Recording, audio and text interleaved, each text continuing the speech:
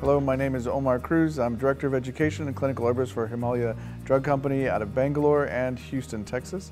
I studied drug design and then later Western herbalism, later to traditional Chinese medicine, Tibetan medicine, and finally Ayurveda. So we'll begin with talking about Garcinia.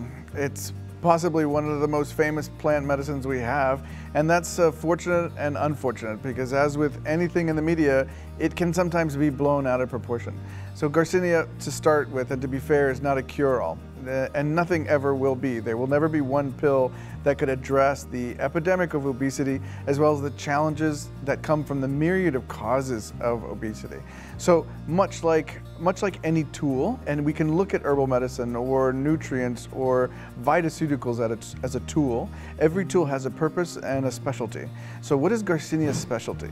Garcinia's specialty happens to be within the rind of the fruit itself, which contains a powerful compound called hydroxycitric acid.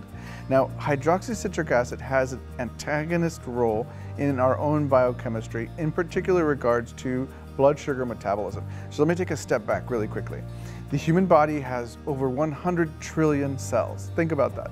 100 trillion cells. That's more zeros than I care to count, actually. Out of those cells, we only have 1 million that can produce insulin so for those of you who know, insulin, of course, is the hormone that drags sugar out of the blood and stores it safely within the long muscles and the liver. Because sugar in availability was very scarce throughout human history, the body actually has very limited ways to producing insulin. That's why we have so few of these beta cells. Just in the event that we have excess sugar coming into the body, the liver has mechanisms by which it can convert excess sugar that's not being shuttled out of the body through insulin because of overconsumption perhaps, and convert it into fat. And that's where Garcinia seems to be having an antagonistic role. It's actually interfering with the body's ability to convert sugar into fat. That's good news because anyone who has difficulty like myself walking past the donut aisle or maybe even walking past a coffee store the Garcinia extract can help us balance that sugar demand on the body and the sugar demand for insulin. That also explains why it may not work for everyone. So if you happen to be on a paleo diet or a high protein diet, say, and you're limiting the amount of carbohydrates you're taking in, you may not see as dramatic of a response as those people who are having a very carbohydrate rich diet, also known as the very typical diet, uh, who might have a better result with that type of a plant.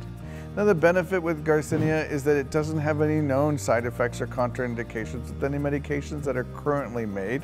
So that's a positive thing to be said about its plant.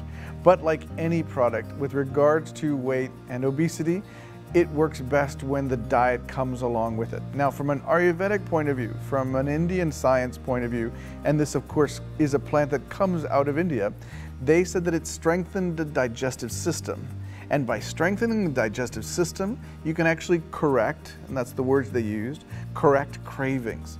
What they suggested was if the digestive system is very weakened, you will only crave very processed, heavily refined foods. But if the digestive system has more fire in it, literally, they called it agni, which is where the Greeks got the word igni as an ignite. If the digestive system has enough of this fire, then we can now crave more complex foods. And that could also be where its mechanism of action lies.